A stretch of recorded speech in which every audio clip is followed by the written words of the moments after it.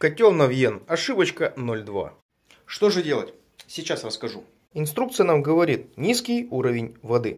Да, в первую очередь нужно проверить, есть ли давление в системе. Должна быть минимум единичка. Если давления нет, нужно с помощью крана подпитки просто его открыть и наполнить.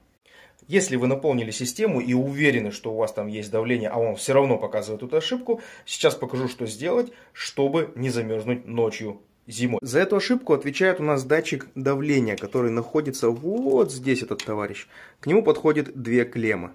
Работает он просто, замкнул контакты, если давление есть, если давления нет, разомкнул и плата не запустит насос. Если мы уверены, что давление есть, берем обыкновенную скрепку, замыкаем контакты и ошибка тут же уходит. Котел запускается. Занимаясь ремонтом котлов, можно зарабатывать 150 тысяч в месяц. Ссылочки все есть в описании и в комментариях. Пиши, научу.